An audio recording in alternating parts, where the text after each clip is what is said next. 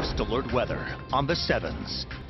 Good morning to you. The weekend knocking on our door. We're just a couple hours away and hopefully you get a good Saturday and Sunday of rest in there. Temperatures right now fairly warm. We are seeing upper 60s right here in the metro, 60s in Santa Fe. You can see right now in Carlsbad 68 degrees. We've dropped a few in the last couple of minutes, but that's normal for this time of day. 60s in western and northern New Mexico. And as we push toward the afternoon, we're going to keep with these relatively warm temperatures as well, above average for this time of year.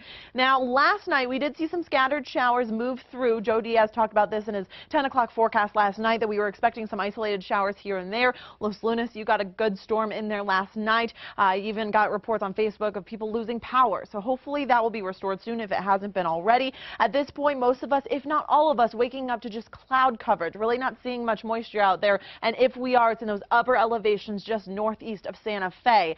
Into the afternoon, I think today it's going to stay mostly dry, but into late afternoon and evening, that's when I think we could see some moisture. High pressure dominating our forecast yet again. We've been talking about this all week long. Byron Morton, Joe Diaz showed you the same graphic. Now we're seeing that moisture coming up from the south. So western New Mexico, northern New Mexico, and also right here in the metro, we could see some isolated and scattered showers and storms into tonight and into tomorrow. We could see heavy rain with this as well, so we'll have to keep an eye on some minor flooding issues. Uh, hopefully we won't see any of that, but it is possible. High pressure will continue tomorrow, so still warm, and again, still those chances of showers and storms.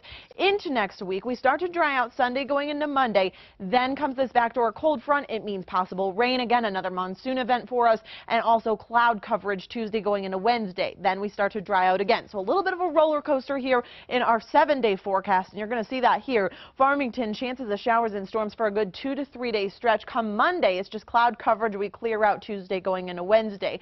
For those of you in Silver City, good morning and happy Friday to you. Friday and Saturday. Again, possible moisture for the next couple of days. Sundays when we dry out in this neck of the woods, it's mostly cloud coverage for the next couple of days as soon as we hit that work week into next week. Temperatures staying in the 80s. For those of you in Carlsbad, really no relief from the heat. I know it's been almost unbearable last week.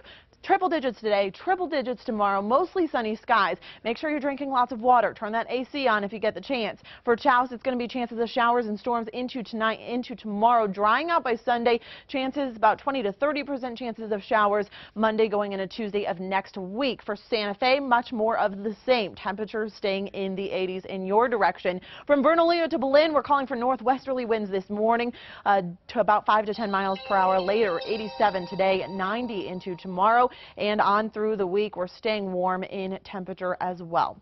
Let's take a look.